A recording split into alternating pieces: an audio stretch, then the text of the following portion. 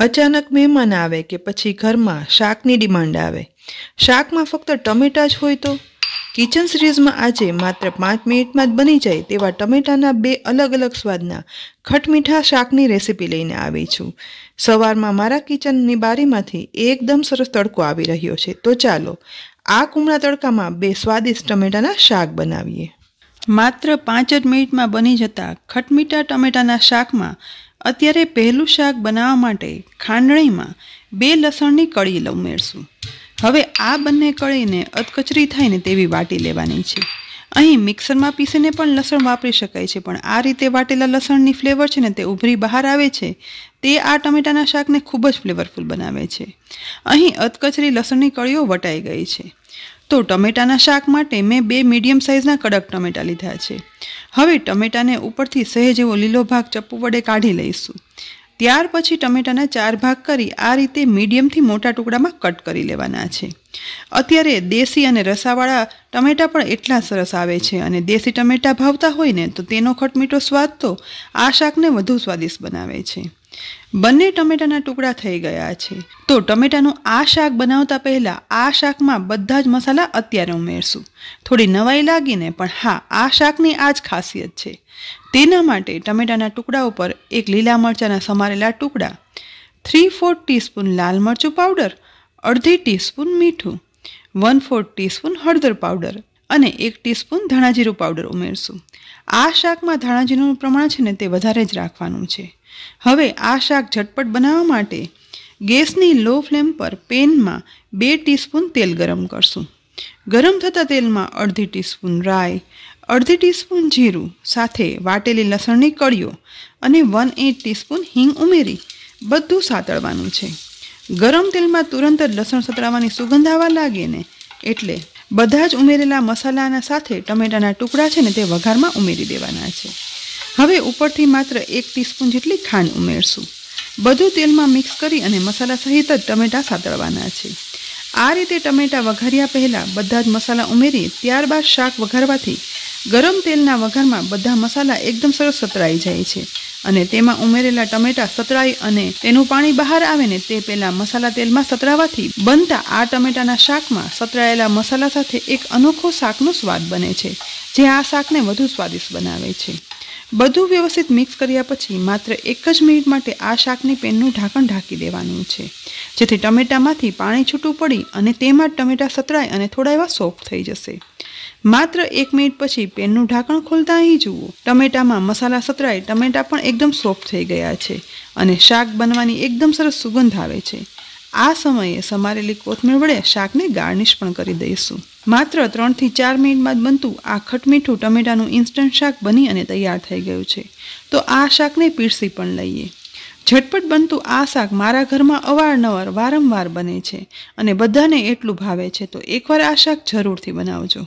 પણ જો ટમેટાનું આવું કોરું શાક ના ખાવું હોય ને, તો હવે આપણે ચટપટું, રસાદાર અને ટમેટાનું બીજી પ્રકારનું, બીજા સ્વાદનું શાક બનાવશું.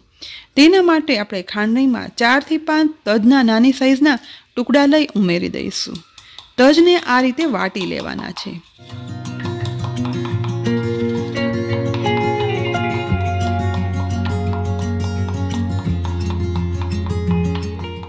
ટમેટાના આ બીજા પ્રકારના શાકમાં તજની ફ્લેવરનું ખાસ મહત્વ છે. તુરંત જ તજ વટાઈ ગયા છે. જુઓ, આવો અધકચરો તજનો ભૂકો રાખશો ને તો પણ ચાલશે. હવે ટમેટાના આ શાક માટે બે મીડિયમ સાઇઝના ટમેટા લીધા છે. આ ટમેટામાં પણ ઉપરથી ગ્રીન ભાગ કાઢી લઈશું અને ટમેટાને પહેલાં સ્લાઇઝમાં કટ કરી લઈશું. ત્યાર પછી દરેક સ્લાઇઝમાંથી આ રીતે નાના નાના ટુકડામાં કટ કરી લેવાના છે. પહેલા ટમેટાના શાકમાં આપણે જે ટુકડા કર્યા હતા ને, તેના કરતાં આ શાક બનાવવામાં થોડા નાની સાઇઝના ટુકડા કરવાના છે.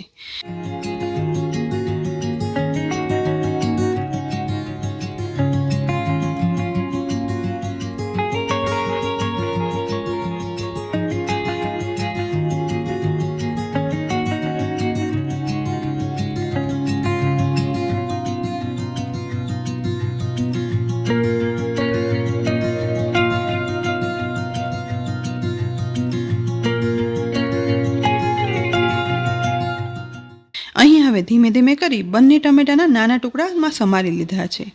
તો આ શાક વઘારવા માટે ગેસની લો ફ્લેમ પર ગરમ થતી કઢાઈમાં ત્રણ ટીસ્પૂન જેટલું તેલ ગરમ કરવા માટે ઉમેરશું.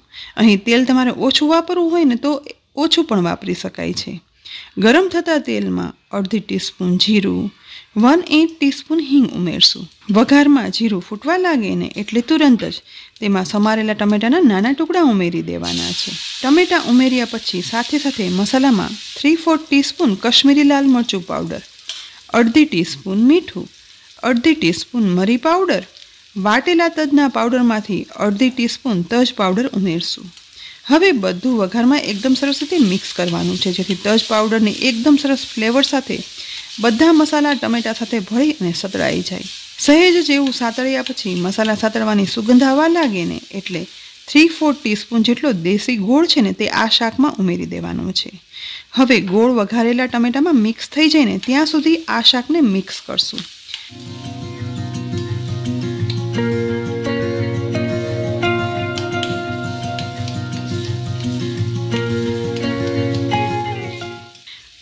જ વાર ચલાવતા શાકમાં ગોળ ઓગળી ગયો છે, તો આ સમયે તેમાં વન ફોર્થ કપ જેટલું પાણી ઉમેરી દેવાનું છે.